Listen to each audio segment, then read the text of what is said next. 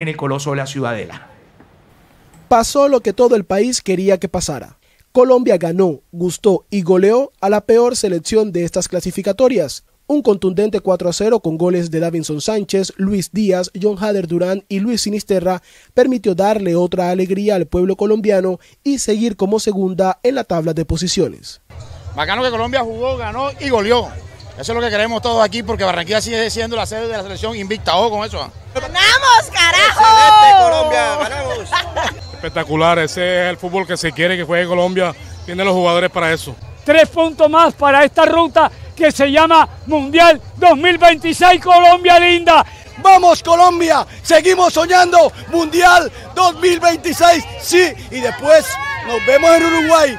Hermano, uy, hermano, lo máximo, lo máximo, hermano. Excelente partido, Colombia ganó bien, goleamos y vamos para el Mundial, papi, vamos para el Mundial.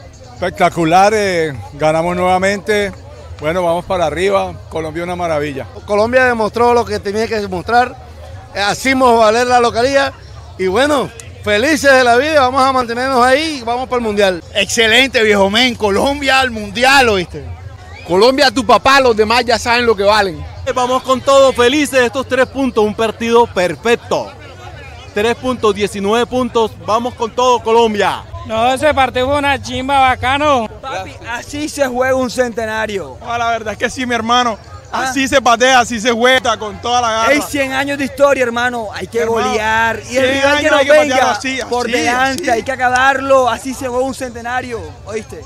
Una goleada merecida. Suerte por los chilenos. Excelente, una selección para campeonato, papá, vamos con todo. Ese Lucho Díaz está volando y todos los costeños que estamos aquí somos firmes. El técnico Néstor Lorenzo no dio sorpresas en la nómina titular. Como delantero, le brindó la confianza a John Córdoba, quien tuvo una clara en el primer tiempo y no concretó. Además, recibió tarjeta amarilla y se pierde el juego ante Uruguay en Montevideo. Córdoba terminó siendo el primer cambio para darle paso a John Hader Durán, quien dejaría su huella en el marcador. Y nada, pues creo que normal es trabajo de equipo. eh, como hicimos cuatro goles, han habido partidos que no hemos hecho goles y bueno, creo que es todo un sube y baja y bueno, estamos contentos por el trabajo ahora y seguiremos así trabajando. Eh, me, me toca entrar y damos lo mejor siempre por el compañero y por el equipo. Normal, trabajo por esto y es trabajo.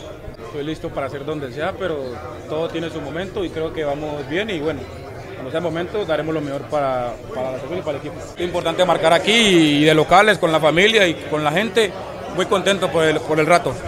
Para el segundo tiempo, en plena zona de cambios, todo el estadio empezó a gritar el nombre de Juan Fernando Quintero. El volante no jugaba desde la final de Copa América y la verdad es que ha recibido muy pocos minutos, pero él se lo toma con mucha tranquilidad.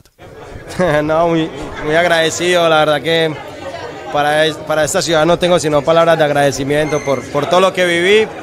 eh, y bueno, hoy se ve reflejado ese cariño, la verdad que muy contento. Sí, creo que marcamos esa contundencia que necesitábamos después de- del difícil partido que fue en Bolivia. Y bueno, ahí seguimos. A ver, yo creo que todo el mundo sabe qué fue lo que pasó. eh, recordarlo no, hace, no es bueno porque creo que no fue la mejor forma. Yo sé qué fue lo que pasó y bueno, la verdad que hoy se ve reflejado el cariño, nunca tuve duda de eso y la gente al final se dio cuenta de todo. Por otro lado está Santiago Arias, titular en la doble fecha por la ausencia de Daniel Muñoz y al final respondió tanto en el Alto como en Barranquilla. Eh, creo que un balance positivo eh, de los dos encuentros. Como le dije, por ahí no sacamos el resultado que queríamos, pero, pero se hizo un excelente partido y bueno, hoy demostramos, sí, 100 años y, y, y que más que disfrutarlo así con un, con un triunfo tan importante en nuestra casa. Eh, no, no, no, no consideramos eso. Creo que vamos paso a paso, estamos partido a partido y, y lo importante es eh, conseguir tres puntos cada, cada que salgamos a, a jugar.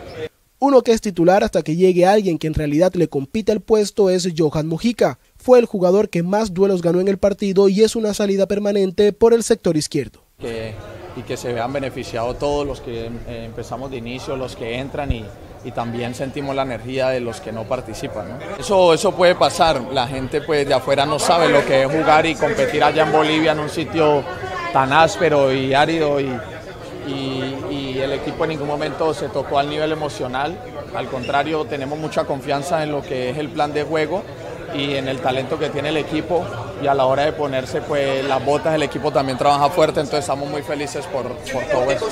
Y pasamos al Guajiro.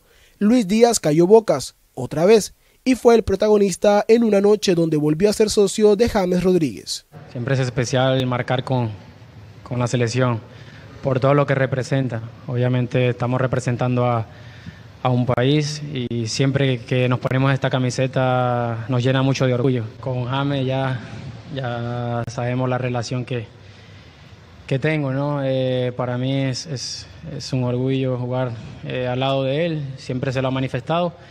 Y bueno, el compartir, el compartir durante estos últimos años con él, también le he aprendido muchísimo. Y siempre estamos juntos, siempre tratamos de, bueno, de compartir cada momento que se viene a vivir a la selección. Y obviamente él dentro de todo, con su, con su talento, eh, con su personalidad, eh, siempre habla en el campo de juego. Eh, solo necesitamos hacer dos o tres señas para entendernos, entonces eso es súper importante, eso es lo que se trata el fútbol, entonces nada, mucha admiración para él y qué bueno que siempre está jugando bien para la selección.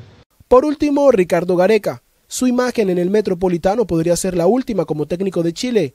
La Roja está casi eliminada del próximo Mundial y la mayor responsabilidad recae en el entrenador aunque los jugadores no ponen de su parte en el terreno de juego.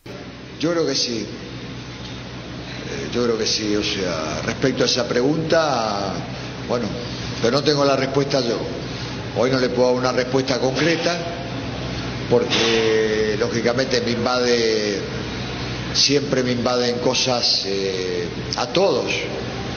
De la, la misma manera que ustedes sienten un montón de sensaciones, yo también lo siento pero no estoy acostumbrado a tomar resoluciones en caliente.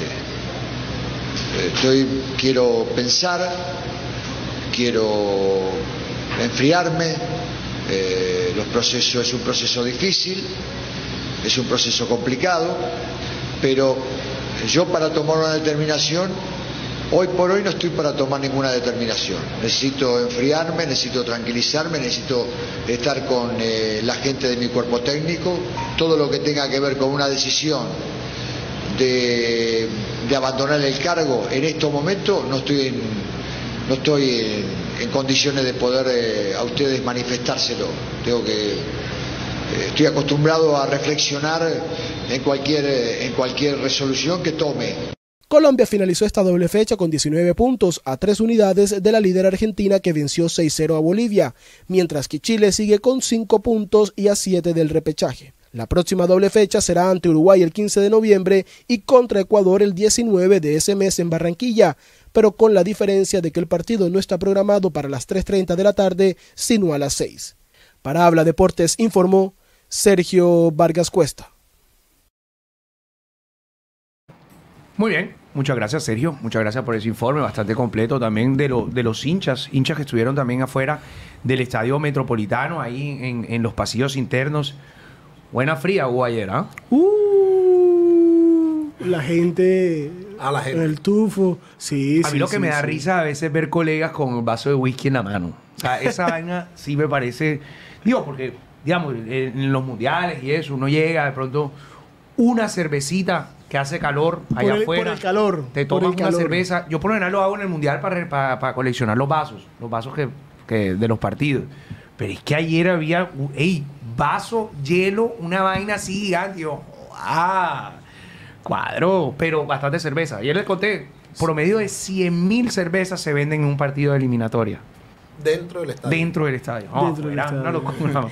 No, afuera, las eh, los estaderos y todo eso. Felicitar a la alcaldía de Barranquilla y a la Policía Nacional. Operativo de seguridad impecable. Excelente, como siempre, brindando de la seguridad a todos los asistentes al metropolitano. ¿Sabes que me ha llamado la atención también de la fuerza pública? Eh, están tendiendo como un trato un poco más humano. O sea, no sé, ayer me puse a hablar con un par de policías y, y la verdad que estaban como súper buen dispuestos eh, para brindar el servicio. Ahora, en esa salida serio, full costeños te hablaron. Sí, sí, sí, hay varios costeños. Hay varios costeños. Es que también hay que ver que, la boletería no estaba tan, eh, tan costosa. Por la reventa tampoco. Bueno, la de Hospitality esta vez estaba en 1.800.000. Sí. Pero siempre estaba en 1.800.000. No, estaba en dos y pico, cuatro. Con, Argentina, más cara, sí, claro. Obviamente, Argentina y Brasil más. Ahora, ahora lo de Hospitality es Top. O sea, no, no sé cómo explicarte. Brutal. Top, top. O sea, todo lo que quieras, todas las bebidas, quieres raspado, come raspado, come frito, O sea, come es una experiencia distinta. Unos Una amiga- amigos, un amigo Mauricio. Mancini y, y Sergio Fernández de Castro tienen el contrato del catering, hamburguesa, todo tipo, sushi, todo, eh, todo tragos, eh, adecuar un lugar eh, con, con esas exigencias en el metropolitano me parece un reto difícil y lo pudieron conseguir. Sí, muy bueno, muy bueno. O sea, que es muy similar Una- al- Una amiga estuvo al por Hospitality allá me Brasil. dijo- en el Hospitality y me dijo que fue Sí, yo estuve en el mundial, todo el mundial Yo de Brasil. estuve en el de Brasil Hospitality, todo, y era todo. así, exacto. Y una locura, una locura. Y que lo tengamos aquí también es chévere, aparte que son mueve una cantidad de economía. El que gasta esa boleta también gasta un tremendo hotel, se va a Steakhouse, se sienta a comer allá. O sea, como que aquí en Barranquilla queda billete. Por allá me contaron mis, mis fuentes, parqueadero del aeropuerto ayer, top. Ah, no. O sea, porque salieron todos de una para el aeropuerto. O, o hoy bien temprano. Hoy bien temprano también hubo gente que salió enseguida porque tienen que trabajar. Hay niños que tienen que ir al, al, al colegio, a la universidad, todo eso. Sí, sí, pero había gente que incluso ayer voló ayer mismo. Sí, mucha gente. Créeme que acá mucha gente, sí, mucha gente viaja el mismo día.